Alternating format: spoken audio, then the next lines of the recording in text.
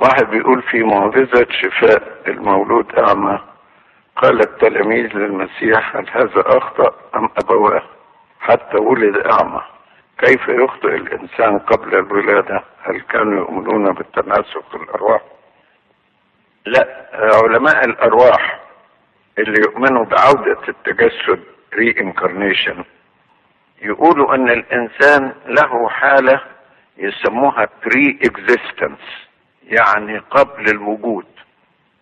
يعني قبل وجوده لحال قبل كده.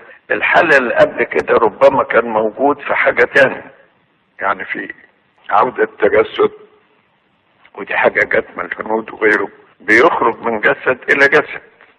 فهو موجود في الجسد الثاني كان له وجود سابق في جسد آخر.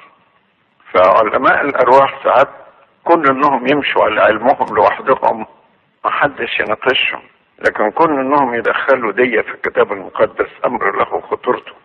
فبيقول لك هل أخطأ هذا الإنسان أم أبواه؟ حتى ولد هكذا. يعني يقصده هل اخطا في حياة سابقة أو في تجسد سابق طبعا هذا لا يمثل عقيدة مسيحية لكن التلاميذ كانت أحيانا بتجيلهم أفكار مستوردة من الخارج.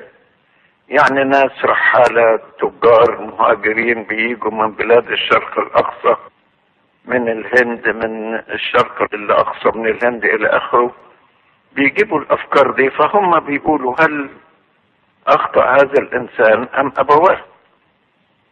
زي ما قالوا ليوحنا المعمدان هل أنت إيليا؟ السؤال ده مش معناه إن دي عقيدة معناها فكر. عندهم في تناسخ الأرواح. فقال لهم لا أنا لا إلي ولا حاجة. فالكلام ده يدل على إن أفكار خاطئة وصلت إلى أذهان التلاميذ والسيد المسيح رد عليها قال لهم لا لي ولا لي لكن لا تمثل عقيدة إنما تمثل انتقال أفكار خاطئة في الجو اليهودي في ذلك الحين.